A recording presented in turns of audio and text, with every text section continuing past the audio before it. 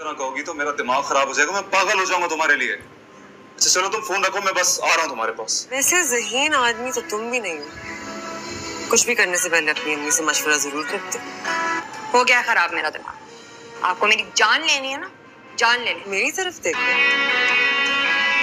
मैं जानती हूँ कि आज भी तुम मुझसे मोहब्बत करती हो। ड्रामा सीरियल एहसान फरामोश की नेक्स्ट एपिसोड में आप देखेंगे। फलक हमजा से कहती है कि नवाल को बिल्कुल भी परवाह नहीं है कि आप उससे कितनी मोहब्बत करते हैं। उसे तो घर के काम से फुर्सत ही नहीं होती। फलक हमजा को ये बात साबित करने में लगी होती है कि मैं हर रिश्ते को अच्छी तरह समझती हूँ, लेकिन कबीर ने कभी मेरी कदर नहीं की। हमजा फलक से पूछता है कि आप कबीर के साथ नहीं आई, या फिर नवाल की हेल्प के लिए यहाँ आई हुई हैं? फिर फलक के ड्रामे शुरू हो जाते हैं कि कबीर को बस परवाह है तो सिर्फ़ अपने घर वालों की। कबीर मेरी तो कोई बात सुनता ही नहीं। वो तो वही करता है जो आलिया भाभी उन्हें करने का कहती हैं। मेरा घर तो टूटने वाला है, सिर्फ़ आलिया की वजह से। अब हर किसी का नसीब नवाल जैसा तो नहीं होता कि इतना मोहब्बत करने वाला शोहर भी मिले और ससुराल भी। नवाल इस मामले में बहुत लकी है। अक्सर खूबसूरत लोगों की किस्मत अच्छी नहीं होती। हमजा फलक से कहता है कि मैं जहाँ तक आलिया और कबीर को जानता हूँ, वो बहुत अच्छे हैं और कबीर तो बहुत अच्छे इंसान हैं। आज तक किसी के बारे में बुरा नहीं सोचा। मुझे उनके साथ काम करके बहुत अच्छा लगा।